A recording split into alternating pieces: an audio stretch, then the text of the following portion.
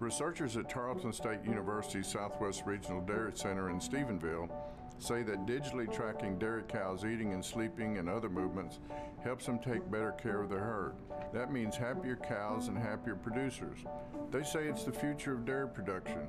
So take a look and see yourself how Fitbits for Cows can help improve the daily lives of both us and them.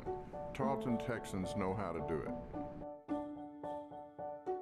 Here at Tarleton, we are the Texas A&M system-wide dairy. And much like you might use a Fitbit to monitor your steps to improve your health, we are going to use Fitbits here with our cows to monitor their health and monitor their day-to-day -day behavior for their increased health. We have two Fitbits on every cow. One of the Fitbits ties in with our milk parlor, so it allows us to track how much milk each cow gives each time we milk her. And then we have another Fitbit that tracks eating time per day, how many times per day cows chew their cud, activity, so basically how many number of steps.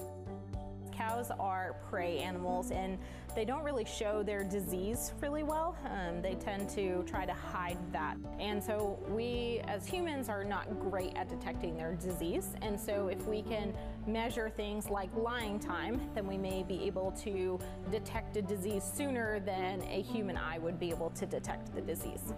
We truly do care about cows as, as all of producers do. And so one of the reasons why we do research here is to make sure that they stay content and happy. Make sure that we can keep track of, of animal well-being um, and also that we can help producers detect disease sooner to keep cows content and happy.